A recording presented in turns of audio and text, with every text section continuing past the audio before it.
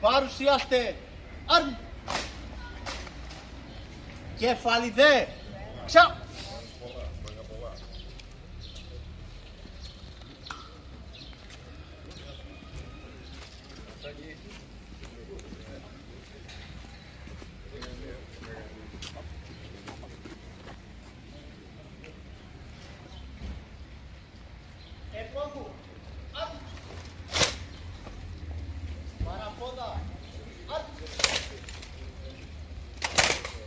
Είμαι. Άρα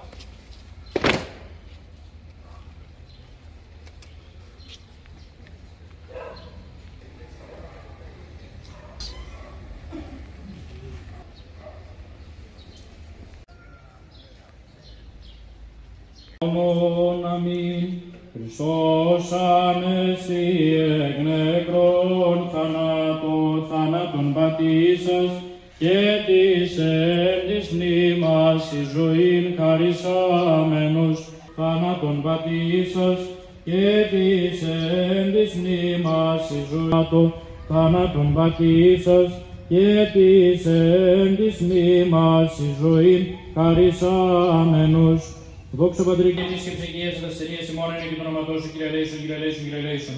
Δόξα Πατρί και Υιό και Υιό Πνεύμα και νύν και αή και εσύ το όνομά σου, το βασιλεία σου γεννηθούσε το θέλημά σου όσον ουρανό και τέτοιες ημών και μη συνέγγιση μας πειρασμών, αλλά ρίσε ημάς από το πονηρού ότι σου. Τον αυτάς, εις την μακαρίαν ζωή την παρασύτην σου Κύριε, όπου πάντες οι Αγίοι σου αναπαύονται, ανάπος και τα στίχα των δούλων σου σώτερα ανάπαυσον, και νυν και με το παραυτόν πρακτένε λόγο ή έργο ιδιανίως αγαθός και φιλάνθρωπος Θεός εν χώρισον, ότι ούτε εις άνθρωπος το ζήσετε και ούχα μαρτής, εσύ γαρμόνος αιωνία σας η μνήμη εξομακάριση και είμαι αδελφοί ημών, αιωνία σας η μνήμη εξομακάριση και είμαι αδελφοί ημών, και αιωνία σας η μνήμη εξομακάριση και είμαι αδελφοί ημών, Θεός εν χώρισον.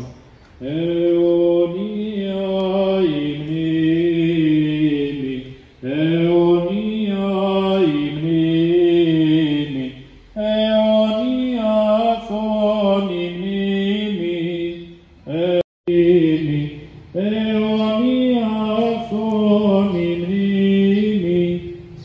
Χριστός ανέσαι εκ νεκρών θανάτου θάνατο πατήσας και της εν της μνήμας η ζωήν χαρισάμενος ο Θεός θα τους ανατάσει. Μήνυση της γενοκτονίας των Ελλήνων του Πόντου. Ομιλία από τη φιλόλογο κυρία Θεοδόρα Θαλαγκάρα. ζητούν δικαίωση. Έτοιμα, παράκληση, ευχή. Και τι σημαίνει δικαίωση; Μπορεί να υπάρξει δικαίωση για τα θύματα μιας εθνοκάθαρσης, μιας γενοκτονίας; Γυρίζουν πίσω οι νεκροί. Απαλύνει ο πόνος. Απαντώνται τα γιατί. Κάθε Μάιος αποτελεί μήνα μνήμης για τον ελληνισμό του πόντου, καθώς η 19η Μαΐου καθιερώθηκε επίσημα το 1994 με ομόφωνη απόφαση της Ελληνικής Βουλής ως ημέρα μνήμης της γενοκτονίας των Ελλήνων του Πόντου, της δεύτερης χρονολογικά γενοκτονίας του 20ου αιώνα μετά την Αρμενική.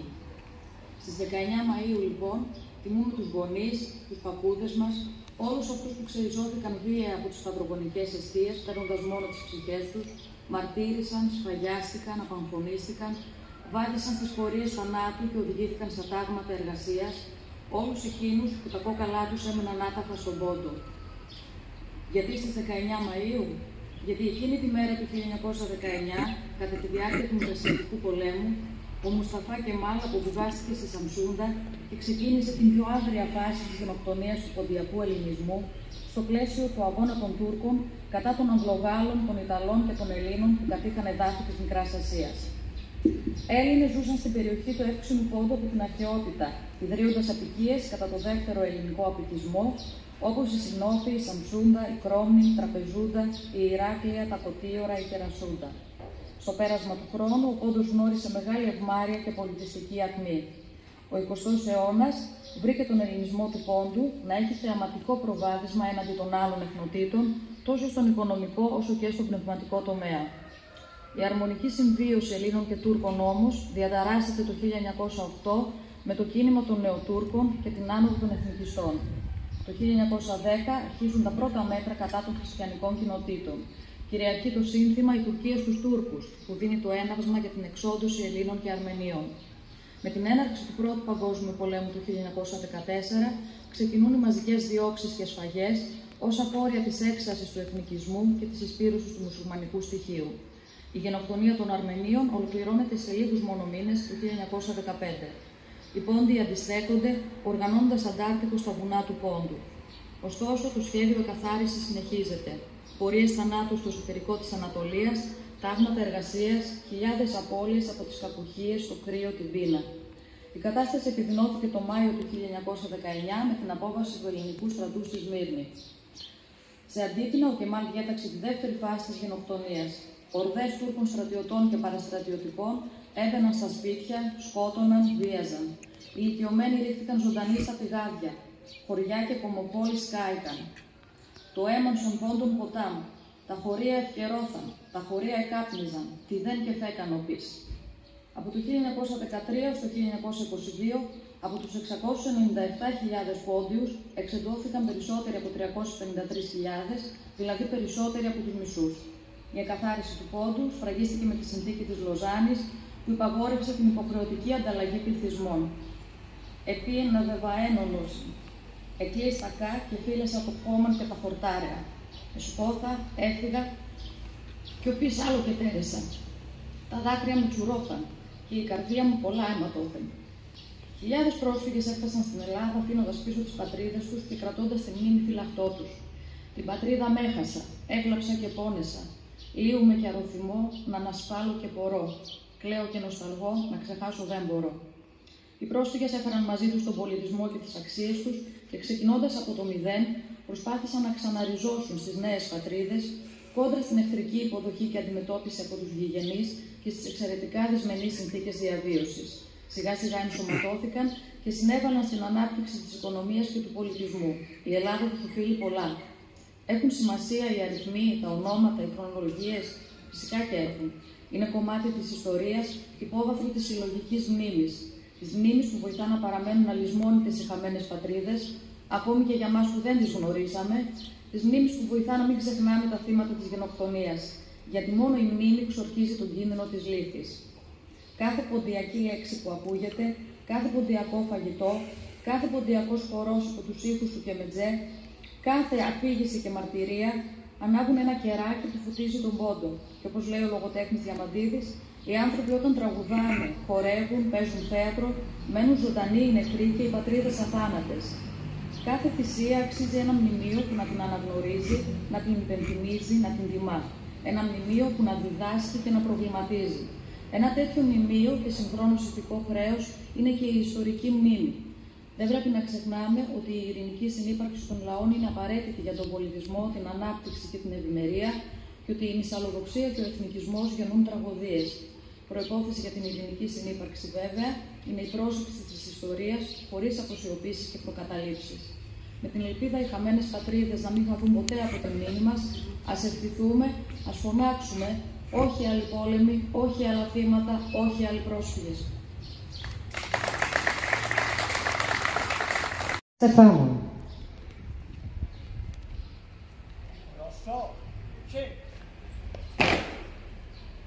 Ο Αντιπεριφερειάρχης Τικάλων, κύριος Χρήστος Μιχαλάκης.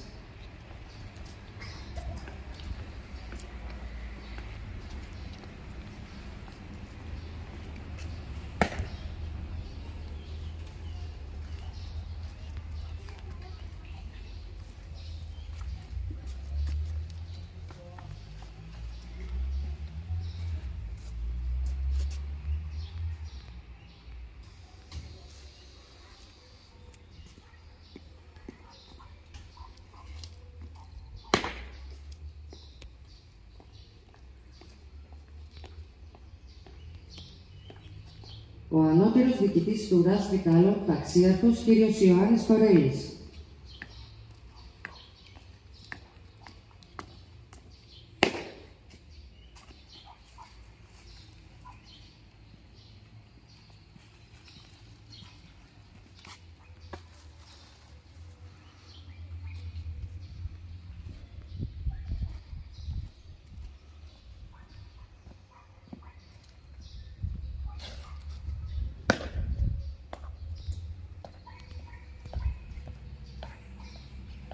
Εκ μέρους του Δήμου Τρικαίων, ο Αντιδήμαρχος Παιδείας, Πολιτισμού, Αθλητισμού και Δημοσίων Σχέσεων, κ. Μιχάλης Λάπας.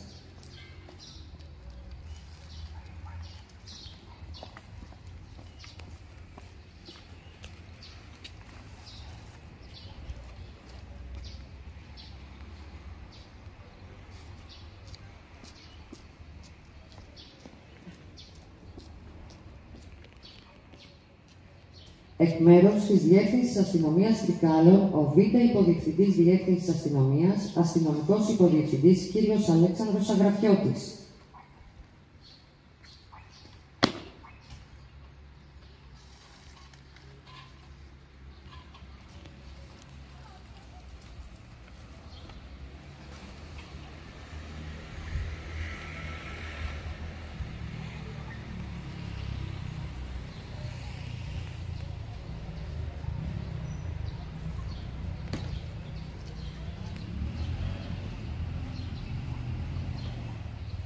Ο αναπληρωτής διοικητής της πυροσβεστικής υπηρεσίας Τρικάλων, αντιπύραρχος κ.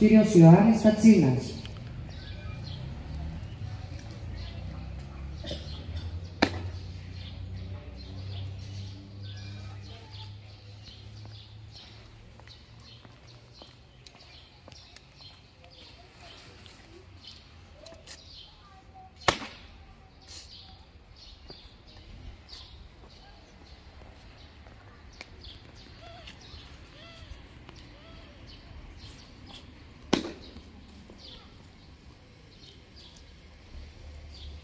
Εκπρόσωπος του ΣΥΡΙΖΑ Τρικάλων.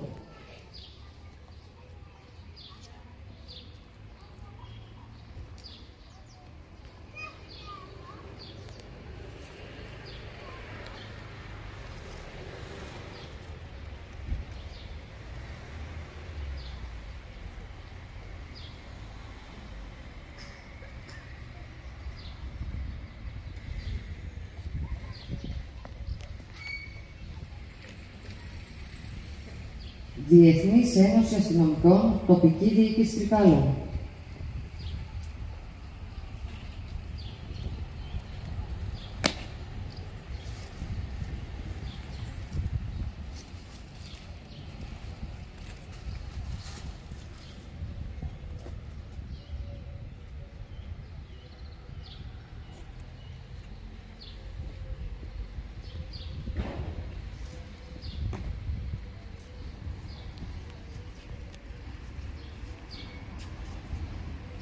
Ένωση Αποστράτων Αξιωματικών Στρατού Νομού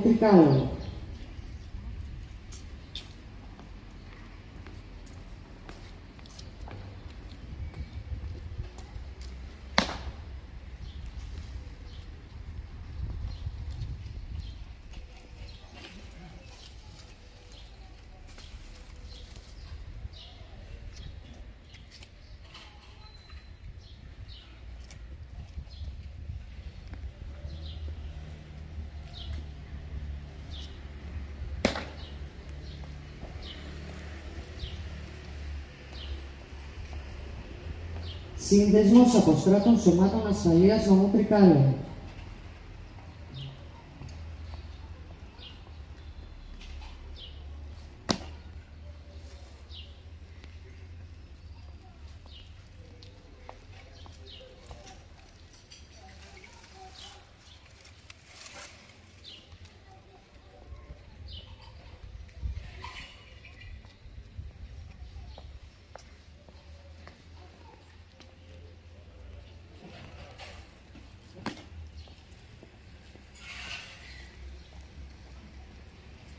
Σύνδεσμος Εφέδρων Αξιωματικών Νομού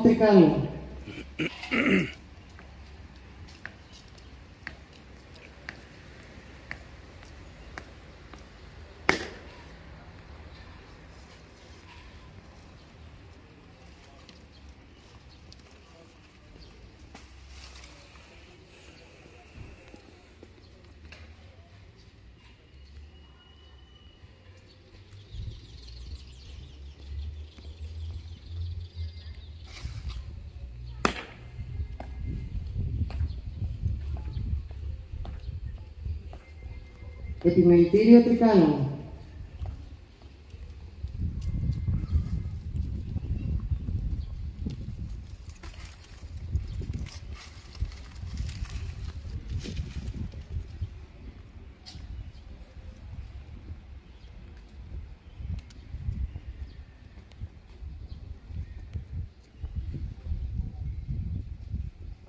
Εμπορικός Σύλλογος Τρικάλων.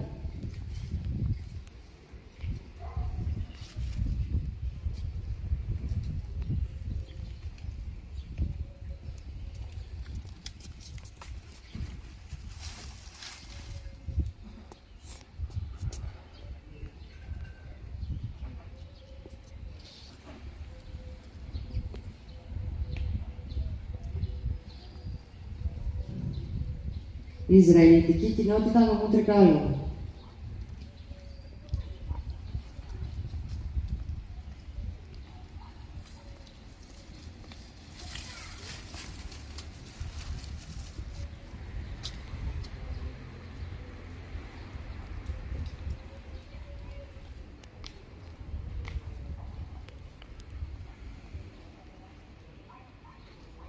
Σύλλογος Ποντίων και Μικρασιατών νομού Τρικάλων Εύξηνος Λέσχη.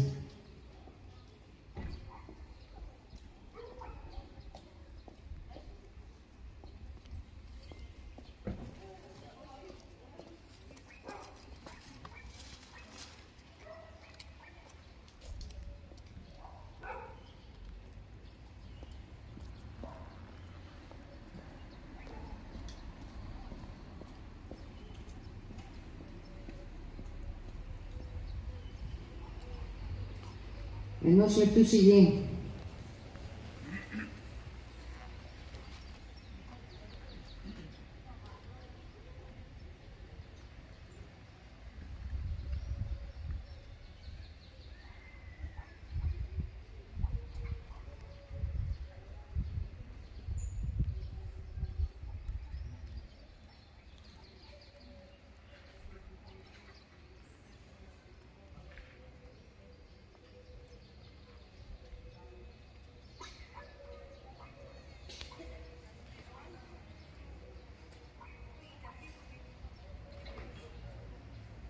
Εθνικός ύμνος. Επομού. Άρ. Παρουσιάστε. Άρ. Ένα, δύο, τρία, φωνή. και